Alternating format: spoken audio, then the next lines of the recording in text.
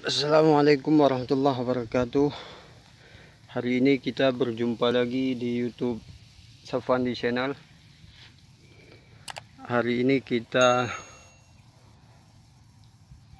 Lagi Memantau atau Melakukan pengontrol, uh, pengontrolan Terhadap tanaman padi kita ini Berusia sekitar 49 hari setelah tanam ini jenis padi impari 16 sekarang keadaannya sudah mulai bunting. Mulai penampakannya.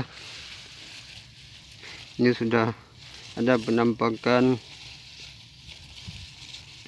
bunting 1 2 ini belum semuanya.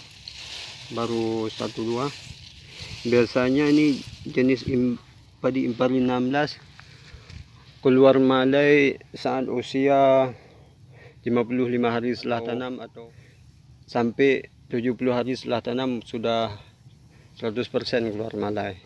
Kita akan sedikit menjelaskan tentang fungisida yang baik digunakan untuk tanaman padi baik di musim hujan maupun di musim kemarau. Ini alhamdulillah padi kita terlihat subur. Okay langsung saja kepada inti pembahasan atau yang ingin kita bahas hari ini yaitu masalah fungisida untuk tanaman padi ya. Yang pertama fungisida yang digunakan saat usia padi 10 hari setelah tanam sampai 30 hari setelah tanam kita menggunakan fungisida antrakol. Dengan bahan aktif probinep atau ziram boleh juga kita gunakan dari usia 10 hari setelah tanam sampai uh, 30 hari setelah tanam. Dosis penggunaan uh, fungisida antrakol atau Ziflo bahan aktif tiram yang saya sebutkan tadi yaitu 2 sampai 4 sendok makan per tangki 16 liter. Karena dosis pemakaiannya 2 gram per liter air makanya kita gunakan 2 sampai 4 sendok makan. Tapi biasanya saya gunakan cuma 3 sendok makan baik itu antrakol maupun uh, fungisida diflo ya itulah fungisida yang kita gunakan dari usia 10 hari setelah tanam sampai 30 hari setelah tanam. Dan selanjutnya mulai dari 30 hari setelah tanam sampai 45 hari setelah tanam biasanya kita gunakan bahan aktif fungisida bahan aktif uh, ladol dengan merek dagang Filia boleh juga uh, Kojo kebetulan yang kemarin saya gunakan ini sudah empat kali penyemprotan. Yang per, yang pertama dari usia 10 hari kita gunakan fungisida ziram dua kali dua kali penyemprotan dari 10 hari dan 20 dua hari kemarin kalau nggak salah. Selanjutnya itu tadi fungisida silsikladol kebetulan yang kita gunakan itu merek dagang Kojo dengan bahan aktif Resikladol dan Azoxystrobin itu kita gunakan sekitar 35 hari setelah tanam kemarin. Dan 42 hari setelah tanam. Nah selanjutnya usia 45 hari sampai 60 hari 65 hari setelah tanam. Biasanya kita gunakan fungisida bahan aktif difenokanazol kalau merek dagangnya yang paling dikenal oleh semua petani Indonesia di mana pun berada untuk saat ini ada fungisida skor. Uh, dia dari produk Segenta. Itu produk ternama harganya juga lumayan bagus sama seperti kualitasnya. Kualitasnya pun sangat bagus nah. Itu bahan aktif difenoconazole kita gunakan dari usia 45 hari setelah tanam sampai 65 hari setelah tanam atau 70 hari setelah tanam. Ya.